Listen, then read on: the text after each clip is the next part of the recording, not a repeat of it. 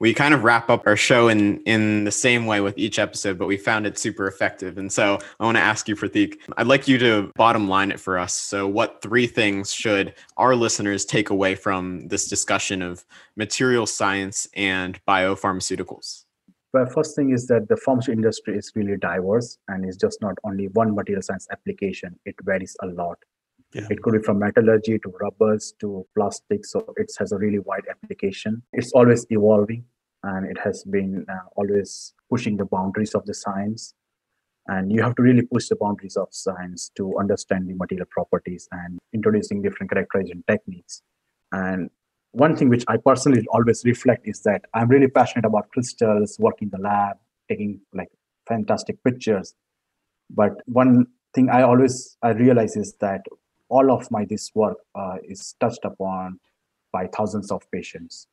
So whatever even like i'm passionate about my research or like I, I do publish work or do some like great science but deep down yeah it's touching the lives of the, team, like many patients and that makes me really happy. So for our listeners if they want to reach you and maybe ask you a question or two what's the best way to connect with you yeah, I'm always available on the LinkedIn. So just feel free to drop me a message and I'll be happy to yeah answer you. Cool.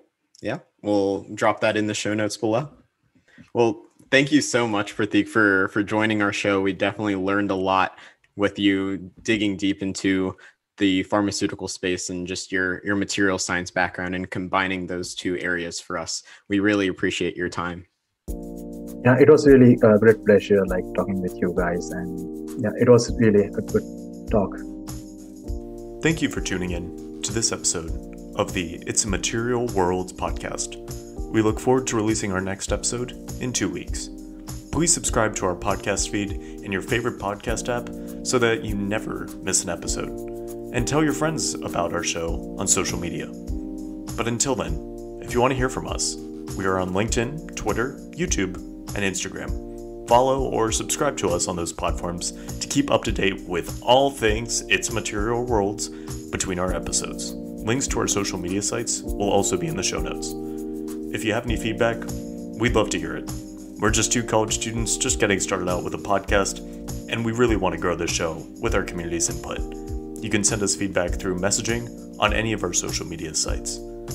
We also love to hear your comments reviews on Apple Podcasts. Feel free to also provide feedback by messaging us directly on LinkedIn, either to Punith Upadhya or Thomas Miller. But until then, take care and stay healthy.